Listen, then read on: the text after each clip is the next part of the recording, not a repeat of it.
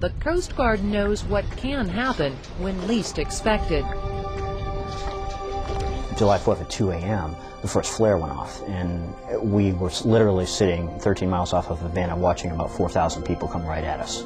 And we sent out the call, we said, we have a mass migration. And the Coast Guard surged its fleet. Everything that could float uh, went down to Cuba.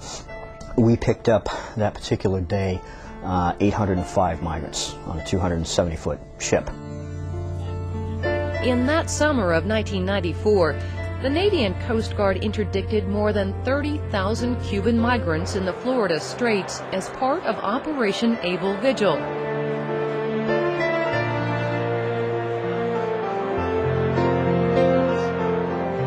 Just months before, the Coast Guard faced another mass exodus. This time, they picked up more than 25,000 Haitian migrants in Operation Able Manner.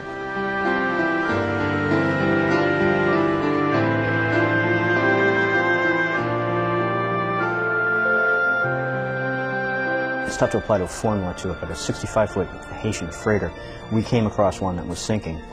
And unfortunately, there was a Navy ship on scene at the time, and we took uh, 506 people off a 65-foot boat, which is it's tremendous. You can't you can't imagine something like that. And if we had not been on scene, if the Coast Guard and, and our Navy partners hadn't been on scene, they would have died. Absolutely, because there's no one out there to rescue them. Um, there's no rafts, there's no uh, life preservers, anything like that. So they, they would have sunk and no one would have heard from them. So it's, it's a humanitarian crisis on, on a massive scale. There were hundreds of lessons learned in the wake of Operations Able Vigil and Able Manner.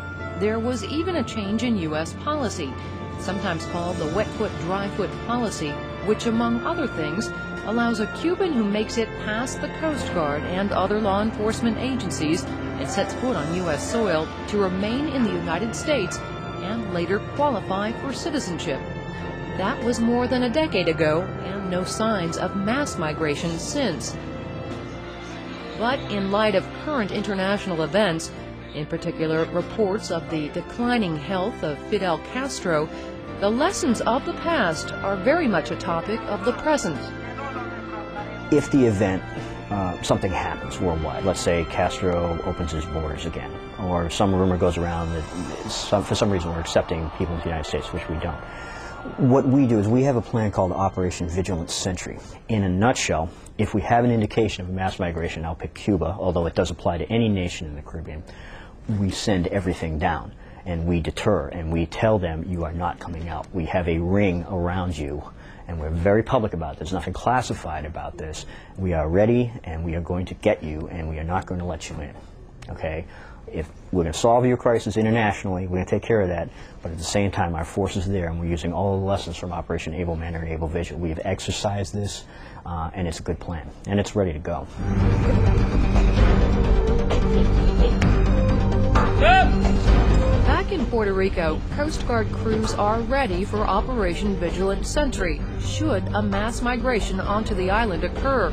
Only time will tell whether illegal attempts to enter this U.S. territory will intensify.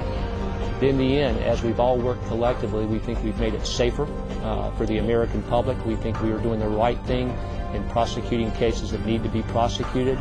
And most importantly, we think we're saving lives by deterring those who are attempting to cross.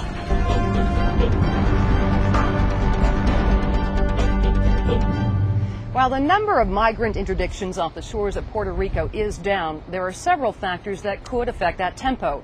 Things like economical and political situations in nearby countries, or any future changes to U.S. immigration laws. Whatever the case, the U.S. Coast Guard, true to its motto, stands always ready to respond. I'm Master Sergeant Daniela Marcus, and this has been Recon.